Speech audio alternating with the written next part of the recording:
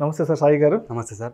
సాయి గారు ఇప్పటి వరకు మనం ఈ పోస్టల్ లైఫ్ ఇన్సూరెన్స్ అనే సిరీస్లో ఆల్మోస్ట్ ఇప్పటి వరకు ఒక మనం ఫోర్ స్కీమ్స్ గురించి మాట్లాడుకున్నాం పోస్టల్ లైఫ్ ఇన్సూరెన్స్లో. అయితే ఇప్పుడు మనం ఫిఫ్త్ వీడియోలో ఫిఫ్త్ స్కీమ్ గురించి మాట్లాడుకోబోతున్నాం. ఆ ఫిఫ్త్ స్కీమ్ ఏంటంటే joint life endowment assurance.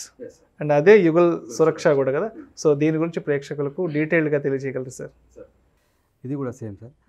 Joint life endowment assurance joint life endowment assurance Yugal Suraksha joint life అనేది జాయింట్ భార్య భర్తలకి ఇద్దరికి కూడా ఇది వర్తిస్తుంది.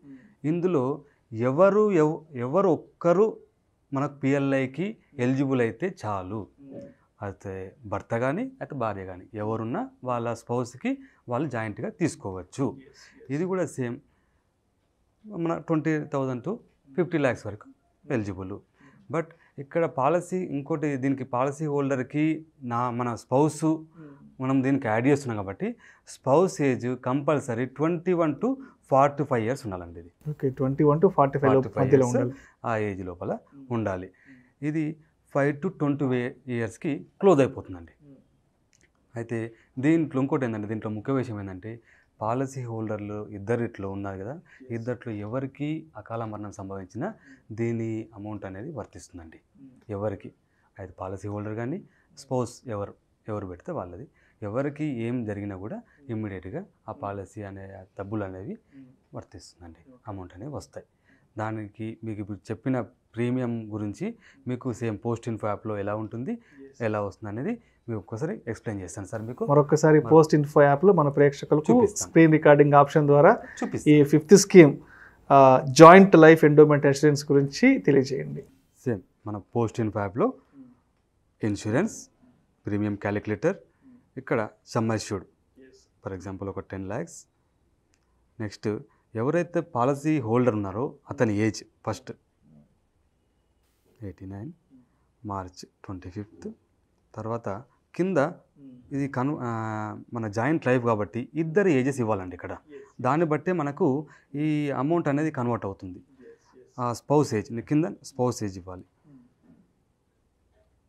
ఒక నైంటీ ఇచ్చేసిన తర్వాత ఇక్కడ మనకు కావాల్సిన మంత్ తీసుకొని ఫస్ట్ ఇచ్చాను ఓకే. కొట్టిన తర్వాత కింద గెట్ కొటేషన్. ఆటోమేటిక్గా ఇక్కడ లాస్ట్కి జాయింట్ లైఫ్ ఎష్యూరెన్స్ అని మీకు కనిపిస్తుందండి. జాయింట్ లైఫ్ ఎష్యూరెన్స్లో ఇక్కడ policy holder age spouse age ఇద్దరివి కనిపిస్తుంది.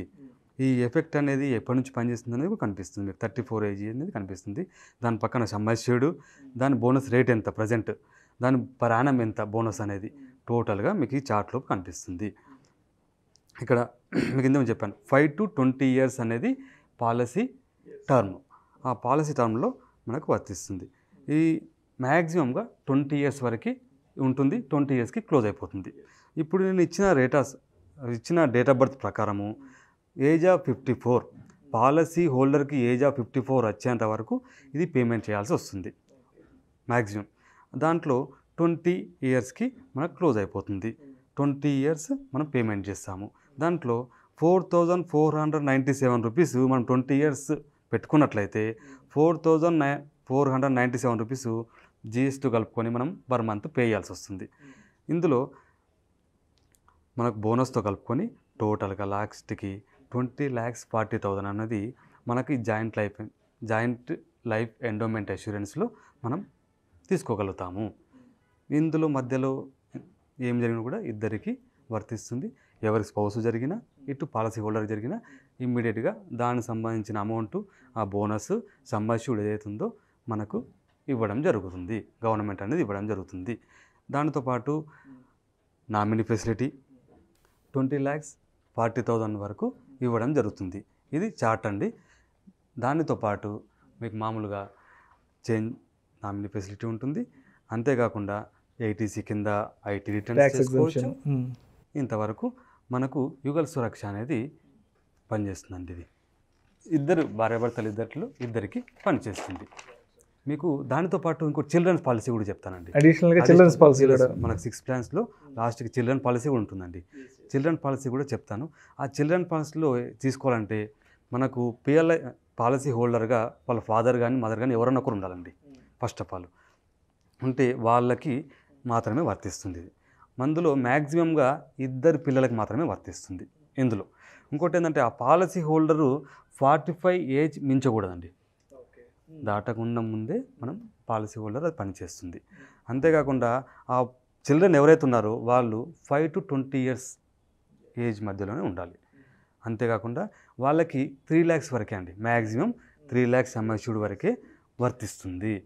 ఆ త్రీ ల్యాక్స్ ఎంఎస్యూడ్ వరకే తీసుకోవచ్చు. అంతేకాకుండా ఆ పిల్లలకి మెడికల్ ఎగ్జామినేషన్ ఉండదండి. మనం ఏ రోజైతే మనము పాలసీ తీసుకుంటున్నామో చిల్లల పేరు పైన ఆ రోజు వరకు బాబు కానీ పాప కానీ ఆరోగ్యంగా ఉంటే చాలు. వాళ్ళకి ఎలాంటి ఎగ్జామినేషన్ అనేది ఉండదు.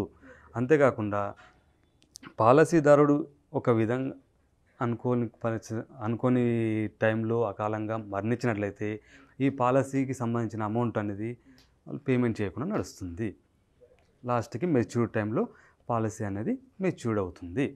అంతవరకు ఈ పాలసీ దీనితో పాటు దీనికి లోన్ ఫెసిలిటీ అనేది ఉండండి మన మిగతా ఐదుకి లోన్ ఫెసిలిటీ. ఫెసిలిటీ ఉంది దీనికి మాత్రం లోన్ ఫెసిలిటీ ఉండదండి చిల్డ్రన్ పాలసీలకి.